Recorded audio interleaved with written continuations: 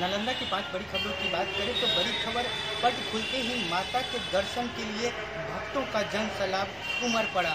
बिहार शरीफ के भैंसासुर, कालिका चौक मोहद्दीनगर बड़ी पहाड़ी और समेत अनेक जगहों पर ज्यों ही माता का पट खुला, भक्तों का तांता उमड़ पड़ा। उनसे आशीर्वाद देने के लिए कई लोगों ने माता की गोद भराई के रस्म को भी पूरा किया। पहले सुबह से लोग माता के दर्शन के लिए पंडालों के इर्द गिर्द नज़र आ रहे थे। बिहार शरीफ के भैंसासुर में अमरनाथ का गुफा और मोहद्दी नगर में परी लोग तो नाला रोड में संसद भवन और बड़ी पहाड़ी जो है कि चौक के समीप नौका आकार में पंडाल तो यहाँ पर अक्षर धाम पुल चौराहा पर पुल पर जो है अक्षर धाम के मंदिर का भव्य स्वरूप दिख दिया गया है, जिसे देखने के लिए श्रद्धालुओं का तांता उमड़ पड़ा है। देर रात तक श्रद्धालुओं का आना सिलसिला जारी रहता है। तीन दिनों तक बिहार शरीफ में तिल रखने की जगह नहीं मिल पाती है। वहीं दूसरी खबर की बात करें तो बदमाशों ने एक युवक पर गोली चलाया है। घटना बिहार थाना क्षेत्र के कागी महला में है। युवक को गोली कान को छूकर निकल गई है।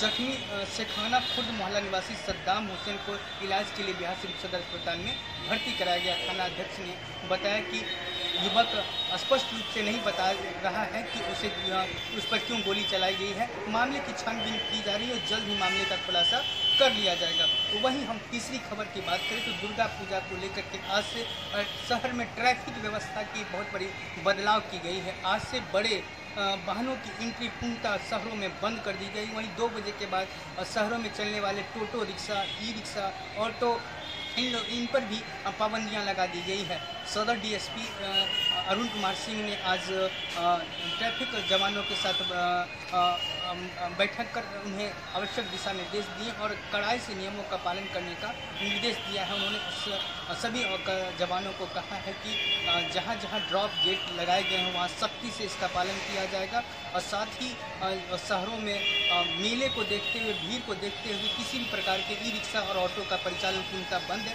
हालाँकि मरीजों मरीज़ को अस्पताल तक जाने की सुविधा दी गई है ताकि उन्हें जो है परिजन अस्पताल तक पहुँचा सकें। चौथी खबर की बात करें तो भोजपुरी फ़िल्म स्टार व सांसद, भाजपा के सांसद मनोज तिवारी देर शाम दीपनगर पहुँचे, जहाँ उन्होंने माता की पूजा अर्चना कर आशीर्वाद मांगा। इस मौके पर स्थानीय मुखिया मनोज कुमार ने माता का चुनरी उठाकर उनका अभिनंदन किया। इस मौके पर उन्होंने कहा कि गाँव का प्रधान ने मुझे इस सप्तमी के दिन पट खोलने के लिए बुलावा दिया था, जिसे लेकर के मैं यहाँ पहुँचा था। मैं भी कभी दिल्ली का प्रधान रहा हूँ। हमारे प्रधानमंत्री नरेंद्र मोदी आज देश के प्रधान हैं।